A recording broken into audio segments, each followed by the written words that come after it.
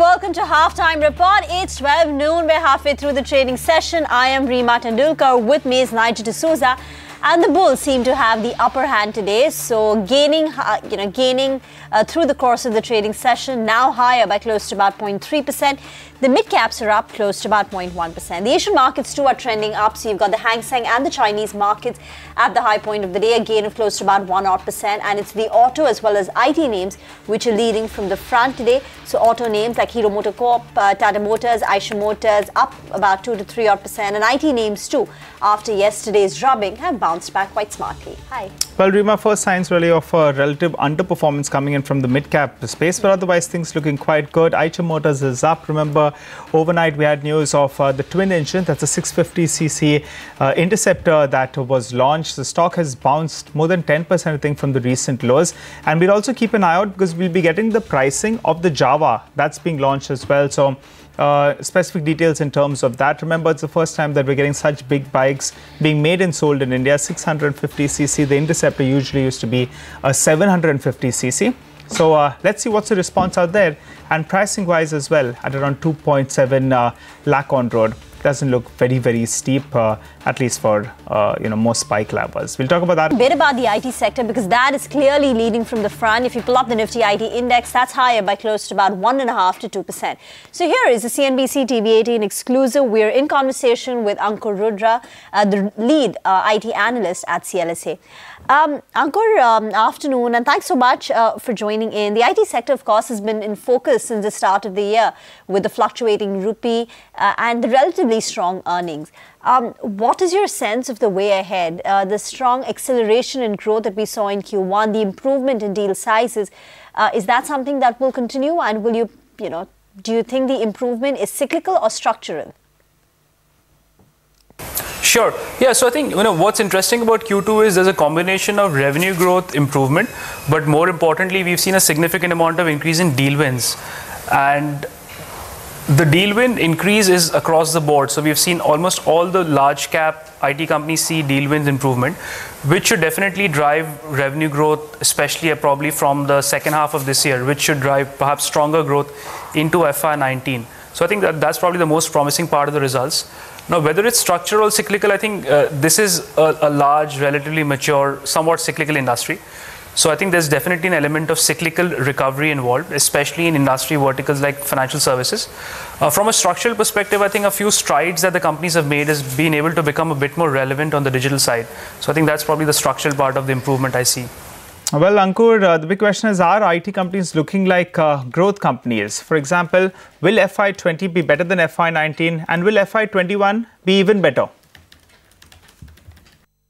I think early days, but I would think I think the trends definitely point towards that because the, the large deal wins we've we've seen this year indicate that the revenue growth momentum will in, improve over the course of the end of this year and the exit rates this year should be stronger and hence I think FY20 should be in general better for most companies next year compared to this year. Uh, some of the headwinds that the companies were facing are beginning to come off, uh, particularly on I think on, on, the visa side, on the demand side, and the ability to win larger digital projects, and that the trend is only positive. So I think I would agree with uh, FY20 growth to be better than FY19 in general. Okay. Uh, Ankur, the mid-cap, mid-cap performance has actually been quite polarized. So on one hand, you've got companies like L&T Technology, L&T Infotech, which have reported very strong numbers, industry-leading revenue growth, and the stocks are also up 50%. But on the other hand, you've got names like Persistent, eClerx, which have disappointed, and these stocks are down, what, 25, 30% so far this year. I know you don't talk about individual companies, but how do you approach the mid-caps? Which ones do you bet on? Yeah, I think without going into company specifics, uh, midcap IT on an average have definitely seen growth improvement over the course of the last one year. I think in general, the average mid-cap IT company has seen growth north of double digits, north of 10%, which is definitely stronger than the average growth you see in the large caps. So that's helped. There's also been a, you know, a concomitant valuation increase across a range of these firms.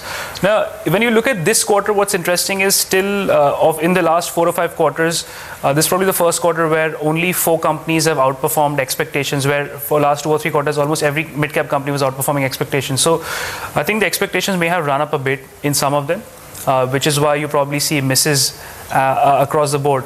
But the demand uh, improvement is, is, is, clearly real because you see this across the mid mid-size and the small size companies. Uh, the other thing which probably uh, you know is exaggerated in the mid caps is the benefit you get from the from the currency tailwind. Uh, given they tend to have lower margins, the benefit from that is a bit higher. So earnings growth should be relatively, uh, you know, should reflect that as well. So you know, one has to be selective in mid caps, uh, but you know, overall growth momentum is definitely improving. Well, Ankur, everything is good at a price. Some stocks have corrected, what, around 15% from the top. So are valuations looking attractive now? Sure. I think uh, if you look at IT as a whole, uh, maybe there's a bit of a difference in the valuations and the, the corrections you've seen in the larger firms versus the smaller firms.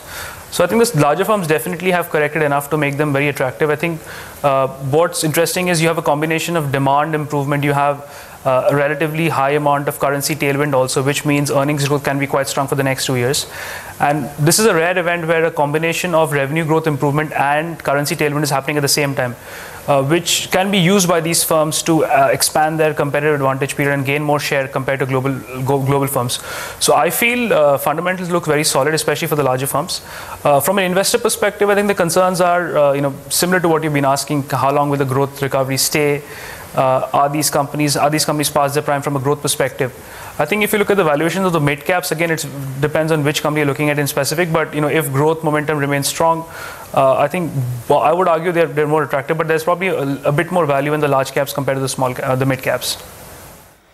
Okay, is the uh, visa issue going to be a risk for IT companies and any other red flags that you see in the environment? So I think if you look at the immigration situation, uh, you know what's interesting is while legislatively nothing has really happened, uh, from a from a bureaucratic perspective, it's become a lot sterner and tougher to get to get supply of, of visas. Uh, some companies have dealt with that change in supply situation better than others, uh, which is probably why they don't see the impact of demand. Uh, but in the short term, I think this implies uh, more subcontracting. It implies using more local employees, and there's a bit of a margin headwind given there's a currency tailwind, I think it can, uh, you know, to an extent, uh, assuage the, the margin headwind you see, which is why I don't think it's it's a concern from a you know sector valuation perspective to that to that extent. And given legislation haven't changed, I don't think there's a business model risk yet. But this is something one has to watch out for. There are a few court cases also going on, so one has to watch out for you know what comes out of them. But at the moment, I think it's it's it's it is a risk, but it's still a tail risk. It's not a significant risk at the moment.